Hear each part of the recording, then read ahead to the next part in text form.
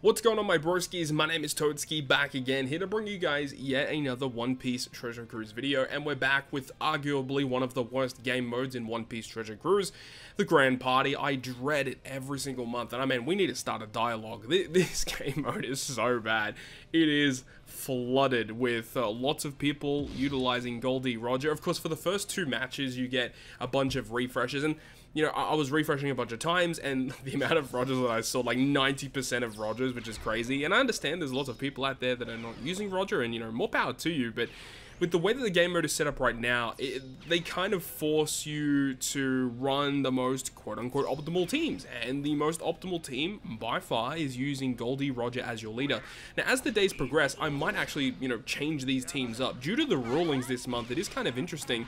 I feel like you know, utilizing Roger, you might actually want to go for, you know, an int-driven team as one of your uh, three options alongside that Roger leader, just due to the fact that both int and driven receive so many different buffs, and also slasher characters, they receive minus three cooldown uh, to, to, to themselves, which is kind of annoying as well. Um, just getting a little bit less uh, chance to launch their specials when, you know, normally they would be launching their specials. I remember there was one component in this clip. I, I can't remember which one it was. It was my slasher team, and, you know, my Roger Whitebeard was about to launch, and if they had that additional plus three, they would have launched it when they came up, but they just missed it. So then you had to wait for the next uh, go around for them to actually launch their special, and things like that will happen. And you know, obviously you can you can shift your team around due to the rulings and stuff, which I definitely will be doing over the next couple of days. But until Bandai change things, I'm probably just going to be using Roger Leader the entire time, uh, unless if I pull like the new debuting legend who's quote-unquote optimal for the new batch of Grand Party. Obviously, if you have the new Killer, um, he is a character that I would, would have liked to have tried out because he just kind of works with the new uh, leader skill and also his, uh, he just fits well with the rulings that are set in place for this new season of Grand Party. But you know what, I'm just going to use Roger for now, and if things change over the coming days, then we'll go ahead and do that. And I know a lot of people are not going to like seeing Roger teams on these grand parties, but look, until they change things, Roger is the best leader to use. And considering, you know, losing losing matches is not something that you want to do. Um, you know, it, it kind of forces you into a certain position. And I do get, you know, the first, you know, few matches that you have, there's lots of leeway. You know, you could just use whatever you want for these uh, first couple of days and not really be punished too harshly for that. But I opted to use Roger today, and it is what it is. I think Grand Party is the worst game mode in the game. I've talked about it extensively before, especially on my Twitch channel when I'm live streaming with a bunch of you guys in the chat. I just absolutely despise this game mode. But anyways, moving on up, next we have a very interesting setup here as I do have my slasher team and I believe I was up against a Dex team and you know, normally Dex teams are pretty hard to take down uh, and you know, they're very, very tricky. They're very bulky. But uh, with Roger's leader skill, it makes things a lot easier. And this is what I'm saying, like, the fact that Roger as a GP lead is so potent, and it's not even his leader skill, really. His leader skill is fine. It's just his, his burst is just incredibly powerful they, they definitely should not have made his burst skill uh, like twice twice per uh, every three matches. It's just absurd. Uh, that should not be a thing. And I understand that there are ways around it, and you know the AI doesn't really use it in that way, and uh, you can definitely predict when AI will use burst skills. But still, it can be RNG at the end of the day. It is what it is, man. I don't really know what else to say about it. Uh, Roger is just a he's not he's not healthy for the meta of, of Grand Party. And if you just think about what would happen if Roger didn't exist in Grand Party in terms of his leader skill and burst skill, it would be interesting to see what people would opt for. And I think definitely Uta would be one of those characters that people would be using more often uh, because the int driven, especially in this season, oh my god, that Uta is, is going to be a scary one to come up against. Int driven is not something you want to take uh, lightly is going to be a very, very potent team. But I'll leave you guys with the rest of this match as we use our Slasher team to destroy, absolutely melt through this Dex team here. And we'll pick things up with match number two.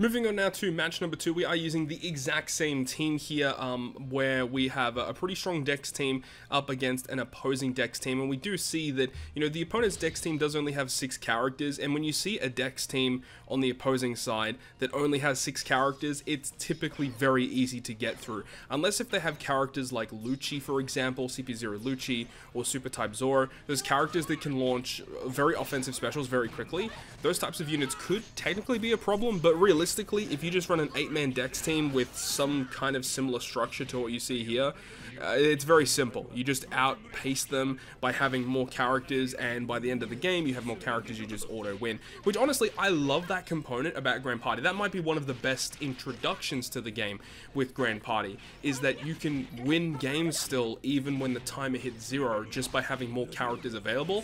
I would love for that component to be introduced into normal Pirate Rumble, because it would make certain teams uh, okay, I did say that, and then I thought about it for two seconds, and then I realized that people's defensive teams would be absolutely cancer. So yeah, just scratch what I just said. I completely understand why they don't do that, but also, if they were making that kind of thing uh, available in normal Pirate Rumble, people would be able to build some more interesting teams in, in, generic Rumble. Whereas with this new thing available, where you can just outpace your opponent by having more characters available than them, you know, it, it, definitely opens the door for more interesting team builds for, for Pirate Rumble for sure.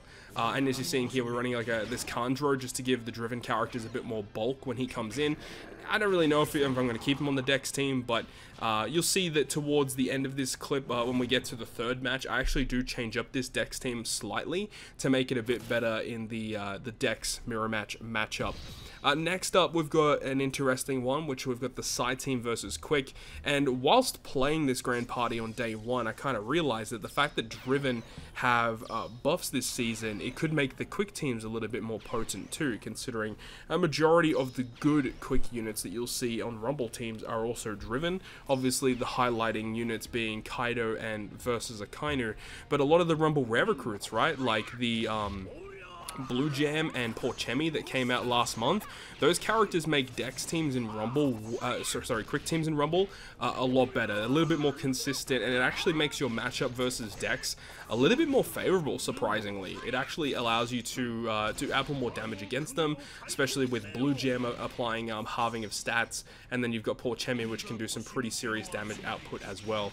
But in this matchup here, Lord does debuff Driven, which is a nice asset that we have, and then uh, Yamato's a really good addition with halving of stats and damage, and we just we just end up outpacing their damage, which is kind of nice. Uh, but so we get a pretty clean victory here on match number two, and we'll pick things up once we get to the final match.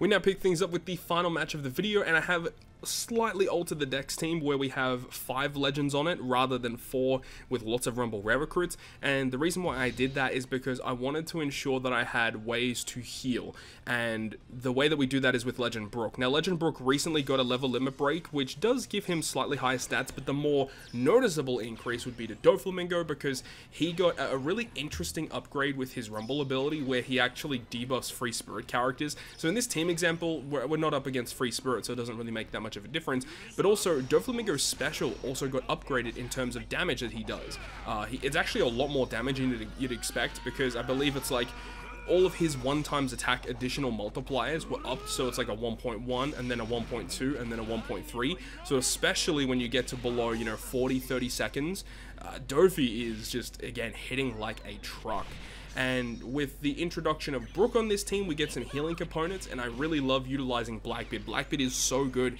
in Grand Party, because in normal content, his, his CT is very high, and it doesn't really give you that much of a buff. Uh, you know, you'd just rather use Cat Viper, for example, because he can output damage uh, a lot more quickly. But in Grand Party, it's really good because of so much bulk being added with all of these leader skills and all of these effects being activated. The fact that Blackbeard can just do straight health cut, additional fixed damage, and then also do defense down, it makes your other characters more potent with their damage output. He's just a solid addition to Dex teams in Grand Party. And here we go with Brook with the revival stuff. And then I do run the Don Chinjao on the bench because I feel like if, if he comes in late game, he can kind of save me uh, with the uh, special CT reduction. It's a really cool component. I believe he can special bind as well. Like, Don Chinjao is a really annoying Rumble Rare recruit, and I do not like coming up against him because he could literally be the game-changing difference between you winning and losing, uh, depending on if you have him or if you're going up against him. A very, very annoying character. So yeah, we've got the Dex team here, which is able to pretty cleanly deal with this quick team here. But I was I was getting uh, a little a little bit concerned towards the end. I was wondering whether or not I was actually going to have enough damage to actually knock them out. You see here that we both started off with eight characters, so I needed to get some knockouts. Luckily, was able to do that. Of course, Doflamingo doing so much damage, Blackbeard doing the defense down, and then of course Doflamingo in the late game just being able to wave clear is just so good.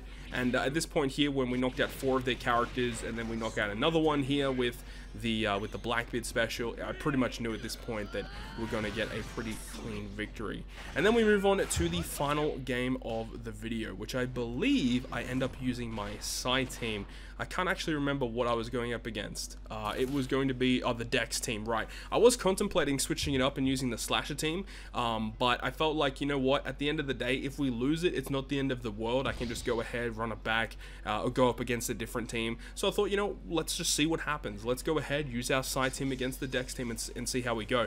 Now, one thing here is that we almost got the Roger special activated, but we are so, so close that we only really need to take a couple more hits in order for the Roger burst to actually activate here. Now, one thing that I completely forgot about is that my opponent is using the Uta leader, and uh, that actually got me a little bit concerned. I completely forgot that it was the Uta leader, and luckily I launched the Roger skill when I did, because by using the Roger skill, it obviously reset it, so we have to fully charge it again, but then my opponent actually ended up using the Uta burst right after I used my Roger burst, which allowed me to charge up my burst again. So if I did need to use it again in this match, or, you know, obviously having it again for the final match would be very important. But this just highlights how much damage that you can do with that Uta skill. Like, it nearly knocked out Yamato. Like, that is wild how much damage that, actually did. And I am a little bit happy that, that Yamato was at least able to launch that special before she was able to get knocked out. It was very good damage, and obviously activating the Luffy revival proc immediately, very, very early, is great for us. So all of the opponents having half stats and then additional stat reduction with Roger is fantastic at this point. You know, normally, in, at least in last month, I was using Kuzan uh, instead of the Roger in, in this team position, uh, but I, I opted to go ahead and try out the Roger Once again, and I don't know if he's going to be the mainstay for the team. I actually still really prefer Kuzan because of the consistent uh, leader skill or uh, the, the rumble ability that he has, and, also, and obviously um, uh, Kuzan with his uh, regular special is just insane. The, the guaranteed fixed damage, and then if you're up against, you know, uh, strength or int characters, you get additional debuffs against them, making your matchup against those types of teams uh, a little bit more favorable. But overall, uh, even though things are looking a little grim here, we were still able to pull out a victory, which is really, really nice. Anyways, that is going to wrap it up for day number one in the Grand Party. Hopefully you guys enjoyed it, and I wish you guys the best of luck in your matches. Hopefully you enjoyed it, and if you guys did, make sure to go ahead and leave a like. And if you want to stay up to date with all the content that I post, including more One Piece Treasure Cruise content, make sure to hit the subscribe button down below. And that, guys, I will see you guys within the next video.